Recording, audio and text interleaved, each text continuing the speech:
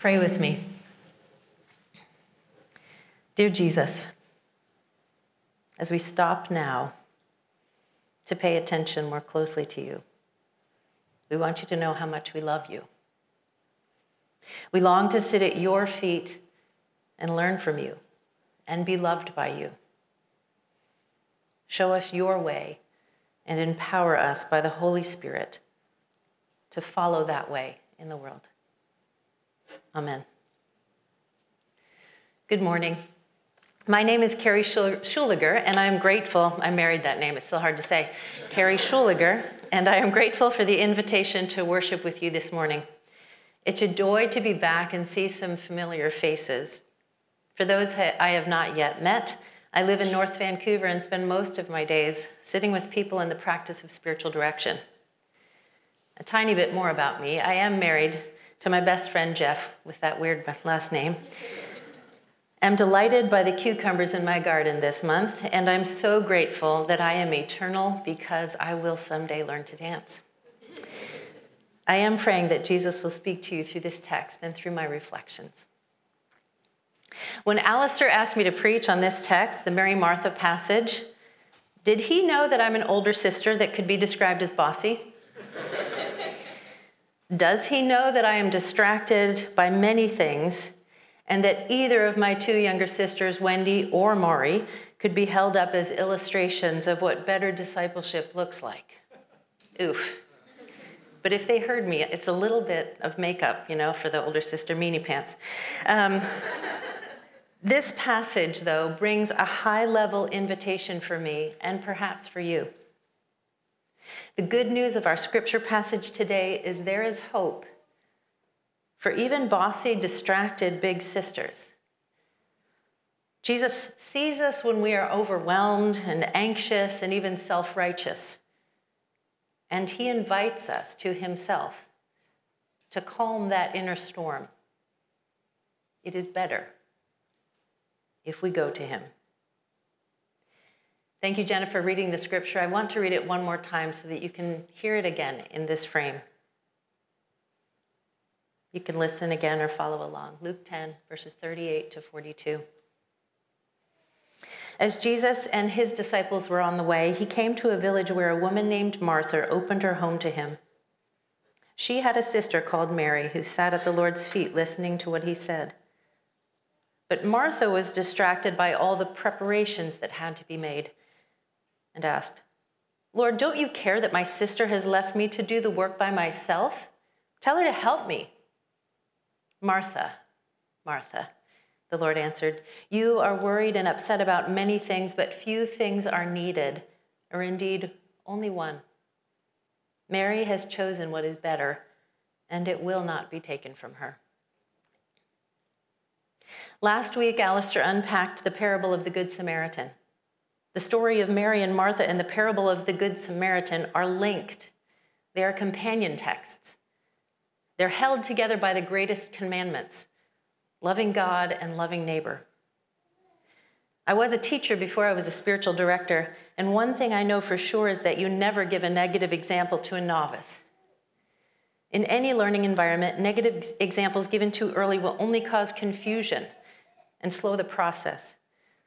If I take a sailing lesson and my teacher begins by showing me all the ways not to rig the boat and tie the ropes, I'm off to a rocky start. But if I'm an intermediate sailor and have a solid foundation, the instructor might show me a negative example to help nuance my craft. Jesus in this passage is speaking to intermediates. The teacher of the law and Martha could see this as a compliment of sorts. It would seem that they would both be on that they would both be solid on the basics of loving God and loving neighbor. But Jesus employs these negative examples to challenge them both to do better. Well, perhaps it's better said to choose the better way. So, to briefly review, the overarching question that holds these two texts together is voiced by the Jewish expert who asked Jesus, What must I do to inherit eternal life? Jesus answers with a question. Jesus asks the teacher of the law how he reads the scripture on this point, And the law expert answers rightly by summarizing the law and the prophets. He said, Love the Lord your God with all your heart and with all your soul and with all your strength and with all your mind, and love your neighbor as you love yourself. Love God and love neighbor, the essentials. Jesus says, You got it. Do this and you will live. But the Torah expert is not quite satisfied and asks Jesus, Who is my neighbor? hoping to justify himself. Jesus replies with the first negative example in this section. You know it well. Two holy men fail, and a Samaritan is the merciful healer hero. Instead of feeling justified, the theological expert and the crowd are left with the choice to dismiss this unsettling teaching, or perhaps they have ears to hear and are captivated and wonder if they are even capable of leveling up their loving neighbor game. The next negative example comes in today's text. Jesus' conversation with Martha speaks to the question that the teacher of the law didn't ask. The expert skipped over a clarifying question about how well he loved God. The lawyer might have believed that he had that part of the commandments down. But Luke doesn't let the readers down. And in the story of the discipleship of Mary and Martha, Jesus uses another negative example to take us to the next level of understanding what loving God means. Just to summarize, Jesus is revealing what we must do to inherit eternal life by exploding our understanding of loving God and loving neighbor with these memorable negative examples. In our passage this morning, Jesus not only shows us what loving God looks like, but he is honoring and empowering women again. Look at that. It is not the first time he dignifies a woman with an engaging conversation, nor will it be a last in the gospel narratives. But this particular story frees women to love Jesus and be full card carrying disciples. To name discipleship for women as an essential, not an extra or add on, when the domestic work is done kind of reward, but a necessary fulfillment of the command to love God, to sit, to learn, to worship God as core and central to this life is amazing. Jesus is inviting women to draw from their inheritance of eternal life now. And I'll step aside and say that Jesus is ahead of his time in doing this, in giving all people the possibility of recognizing them, themselves in the story. When you see that the main characters are Samaritans and women, Jesus is doing something expansive. Luke's whole gospel emphasizes a kingdom whose king whose king's arms are open wide. Luke makes sure that the reader sees the generous love and welcome of the poor and the sick and the outsider. And as Jesus gathers those who will listen and enter his life, his very life, life with a capital L, he will show them how to love him and love like him. So if the accomplished theologian lawyer is paying attention, there's room for him. We kind of expect that. Jesus wouldn't challenge him if he didn't think he were up to it, though. And when a Samaritan man of means hears Jesus' parable, he still might doubt his pedigree, but there might just be room for him too in this kingdom. And for the anxious, angry woman, there's not only room for her, but there's a better way on the way.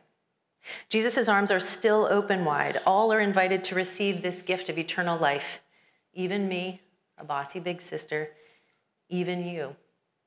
And if you haven't entered this life of love and mercy and you're intrigued, take a bold step and ask someone about it today. Okay, now to our story. We know that Mary and Martha were both disciples of Jesus. They both sat at the feet of Jesus. That was one way to describe what a disciple did. They both were devoted followers of Jesus, and along with Lazarus, their brother, are considered close friends.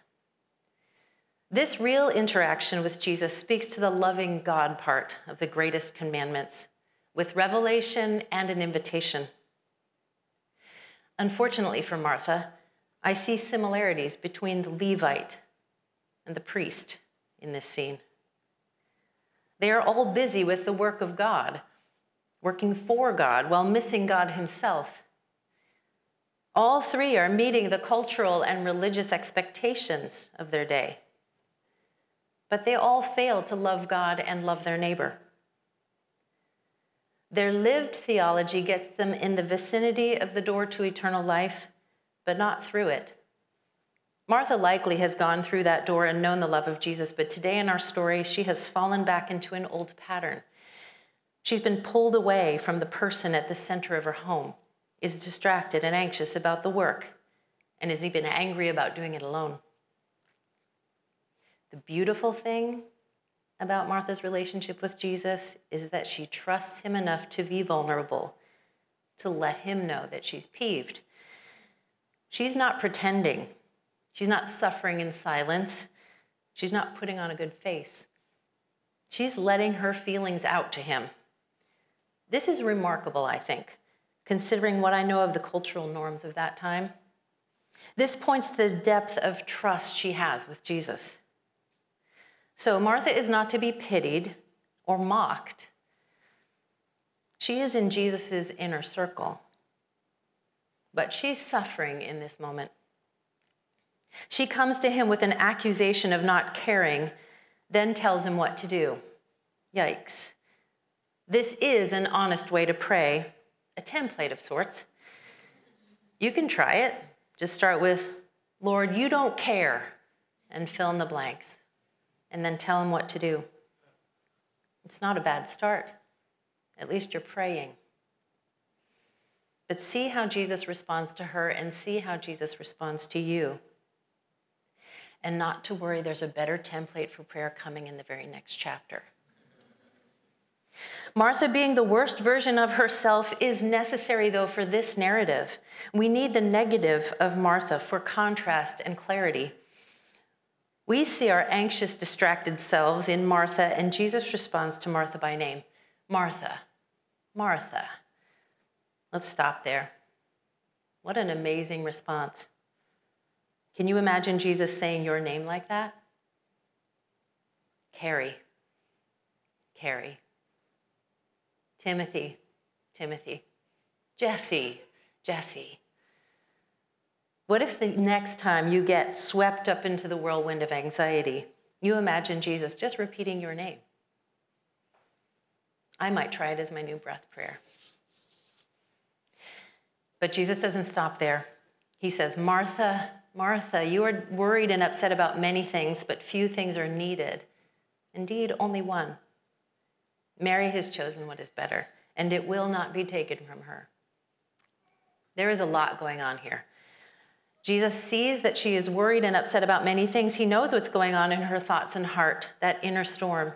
He sees, he knows.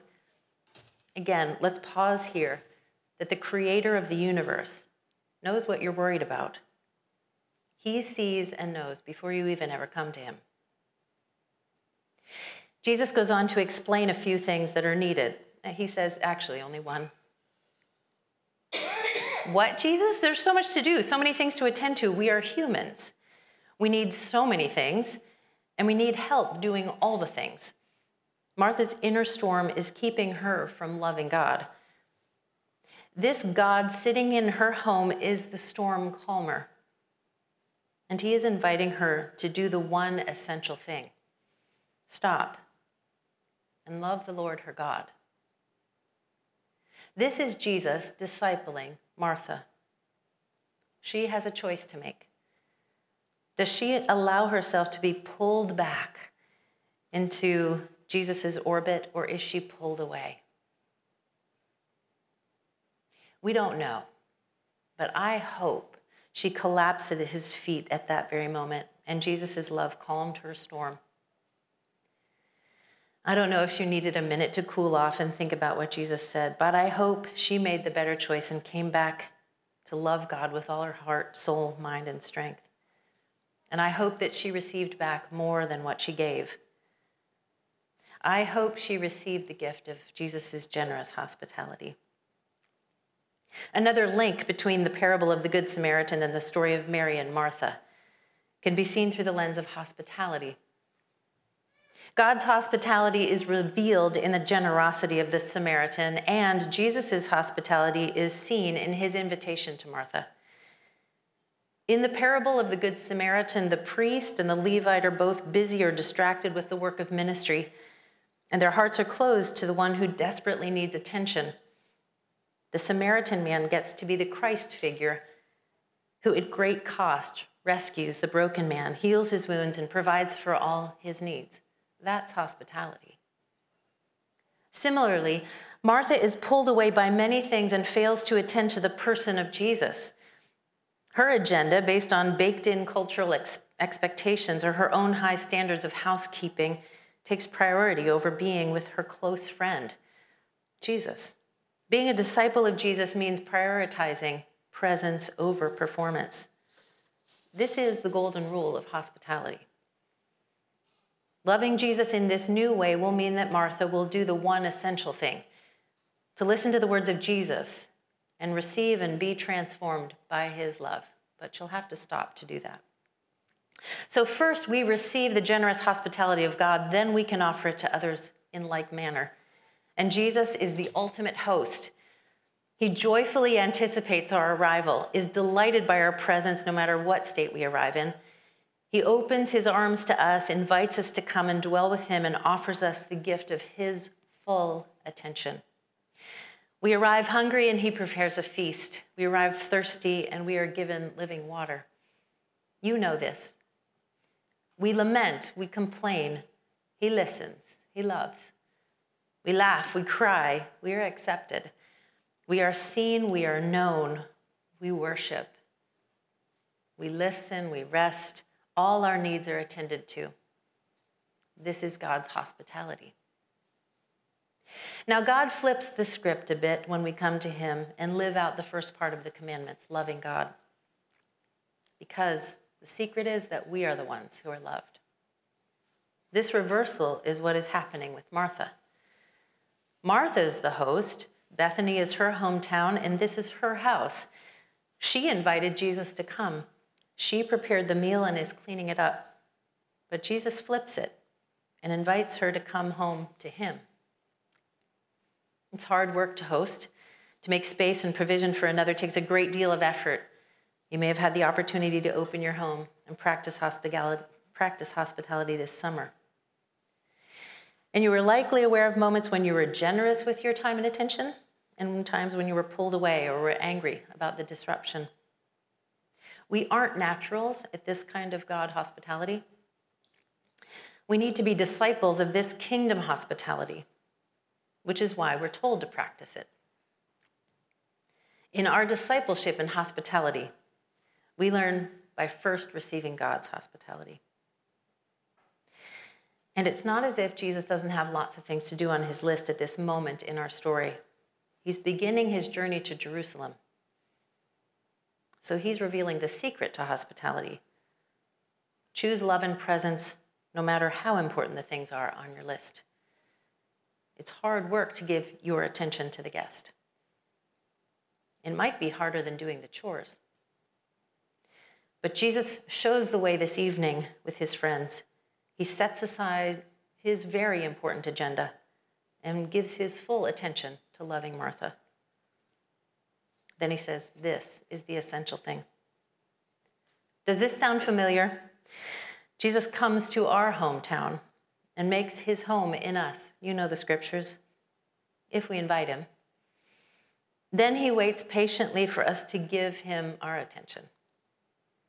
The Spirit of the living Jesus, who sat in Martha's home, abides in us. And we're too busy and distracted to attend to him. I don't know what pulls you away from loving and being loved by Jesus in this way. I don't know what you're worried and anxious about today, but I do know that most people are pulled out of Jesus' orbit by the worries and work of this life. But as I sit with people who make space to sit with Jesus for one hour once a month, what I witness is that when we do this one essential thing, we get love.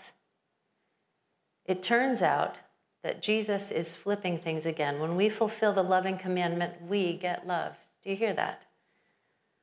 Our work is to put all the other non essential things aside and get ourselves to the center of that love. And if you need help getting there, find a friend who will go with you. Seek first the King of the kingdom. It is truly the one essential thing. Pray with me.